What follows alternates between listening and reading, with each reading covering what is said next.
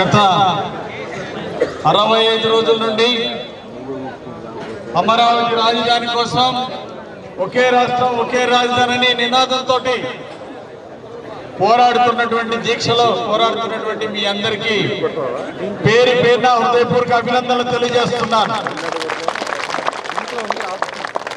ఈరోజు fact finding committee JAC తరఫున మీ ముందుకు వచ్చారు వాస్తవాలు తెలుసుకోవడానికి వచ్చారు. మీ ఆవేదన చెప్పారు. పోలీసులు ఏ విధంగా దౌర్జన్యం చేసింది చెప్పారు. వింటే చాలా బాధాకరంగా ఉంది.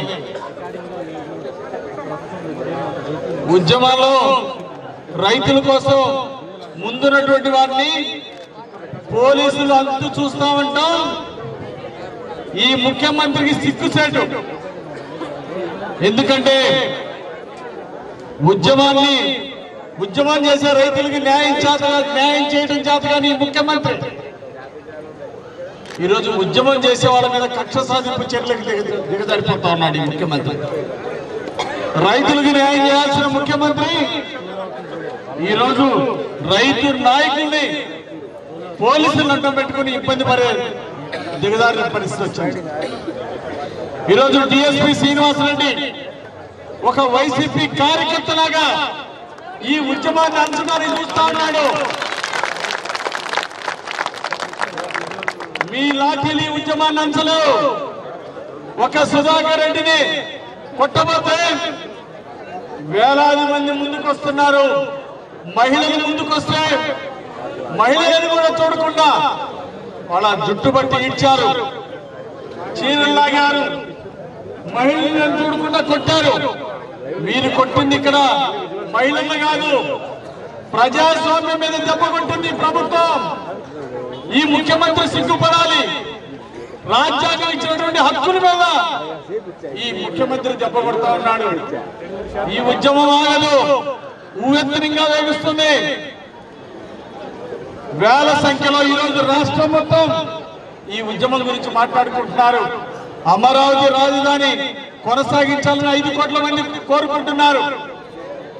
మరి ఎక్కడో ఉన్నటువంటి వాళ్ళకి వైసీపీ కార్యకర్తలకి ఇక్కడ రాజధాని భూములు ఇళ్ళ స్థలాలుగా ఇవ్వడానికి ఈరోజు ప్రభుత్వం చూస్తా ఉందంటే ఈ ప్రభుత్వానికి సిగ్గులేదా చంద్రబాబు గారు బ్రహ్మాండమైనటువంటి బిల్డింగ్లు పేదవాళ్ళు ఇల్లు కట్టుకోవడానికి ఇల్లు కట్టించిస్తే తొమ్మిది నెలల నుండి కనీసం దానికి రంగులేని చేత కానీ ఈ ముఖ్యమంత్రి మూడు రాజధానులు ఏ అభివృద్ధి చేస్తారని అడుగుతున్నా ఒక రాజధానిలో కట్టిన బిల్డింగులకి రంగులేయడం చేత కానీ ఈ దద్దమ్మ ముఖ్యమంత్రి మూడు రాజధానుల పేరుతో మూడు ప్రాంతాల మధ్య చిచ్చు పెట్టి ఈరోజు ద్రోహం చేస్తా ఉన్నాడు.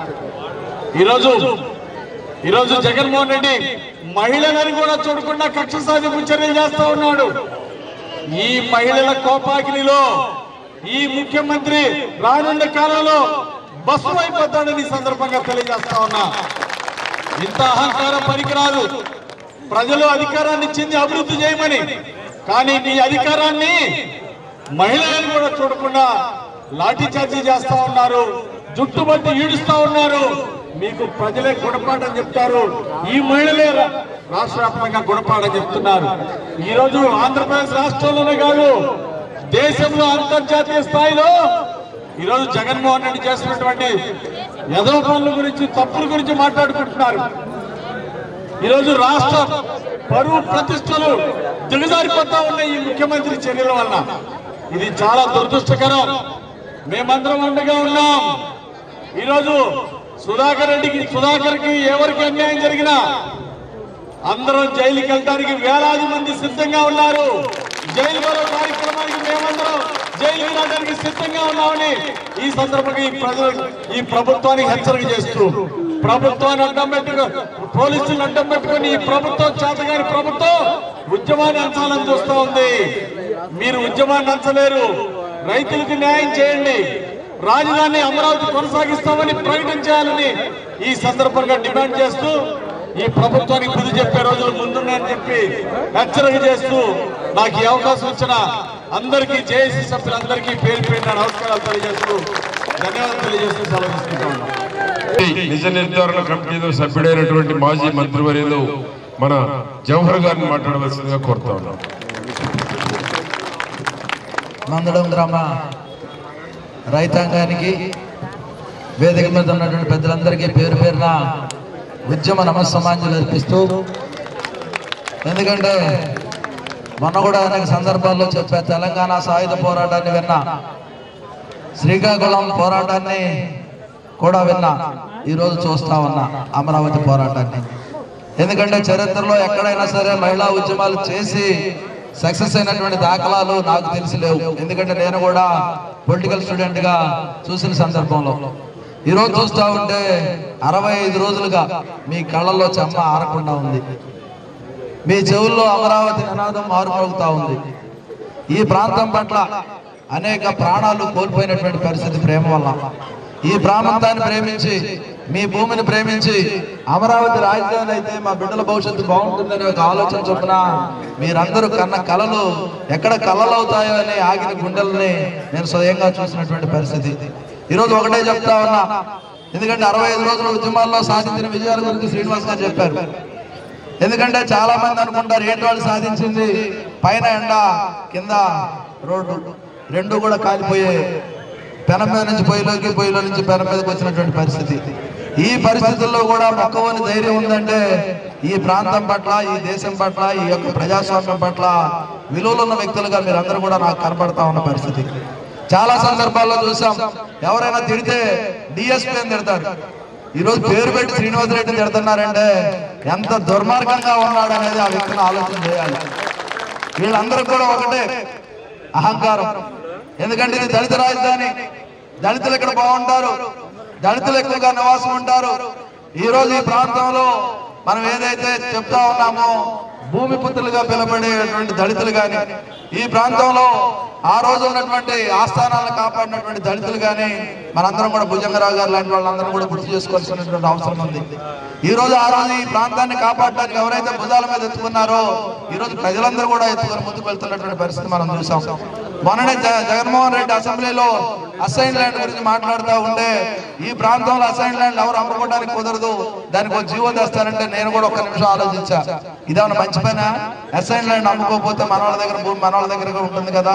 ఇదేదో బాగుంటుందని నేనైతే ఒక నిమిషం ఆలోచించిన తర్వాత దానివల్ల పూర్వపరాలు ఒకసారి ఆలోచన చేశాను ఆయన అర్థం ఈ రోజు అర్థం అవుతా ఉంది. నాలుగు వేల ఎకరాల పైగా ఇక్కడ అసైన్ ల్యాండ్ మీద కన్నుబడింది. అదే కాదు ఈ ప్రాంతం వాళ్ళు కాదు విజయవాడ వాళ్ళని తీసుకొచ్చి ఇక్కడ పెడతాడట. గుంటూరులో మాచర్ల చివరన వాళ్ళు తీసుకొచ్చి ఇక్కడ అమరావతిలో పెడతాడట. ఆయన ఉద్దేశం ఏంటో మన అందరం కూడా అర్థం చేసుకోవాల్సినటువంటి అవసరం ఉంది. జగన్మోహన్ రెడ్డి ఒకటే అడిగా పొద్దున కూడా. ఎందుకంటే జగన్మోహన్ రెడ్డి దాహం తీరేది కాదు ఆయన హృదయం కరిగేది కాదు. ఎందుకంటే ఆయన దాహం లక్షలాది కోట్ల రూపాయలు ఉన్నప్పటికీ నలభై మూడు వేల కోట్లు వెనక తీసుకుని గుర్తొస్తా ఉంది. ఉన్నదాంతో తృప్తి పడే రకం కాదు. ఆయన హృదయం అరవై ఐదు రోజులుగా కనీసం కరగట్లేదంటే మహిళల కన్నీరు చూసి కరగట్లేదు వాళ్ళ మీద పడిన దెబ్బలు చూసి కూడా కరగట్లేదు. జగన్మోహన్ రెడ్డి ఆశాస కూడా తీరని దాహం అయిపోయి ఈరోజు భూదాహానికి తెరదీసినటువంటి పరిస్థితి. అసైన్ ల్యాండ్ ఈరోజు తీసుకునేటటువంటి పరిస్థితి. ఏంటంటే అసైన్ ల్యాండ్లు ఎవరైనా అనుభవించుకోవచ్చు కానీ అమ్ముకోవటానికి లేదంటా ఉన్నాడు. ఆ రోజు చంద్రబాబు నాయుడు గారు మా దళితులు గుర్రాల మీద తిరిగేటటువంటి అవకాశం కారులో తిరిగే అవకాశం ఇన్నోవాలు కనుక్కుంటే నేను కూడా ఈ ప్రాంతం వచ్చి చూసి సంతోషపడ్డా. ఎందుకంటే ఎప్పుడైనా తన జాతి ఉన్నతిని ఆశించే వాళ్ళు విద్యావంతులు అవుతారు. అందరూ సమానంగా బతకాలి.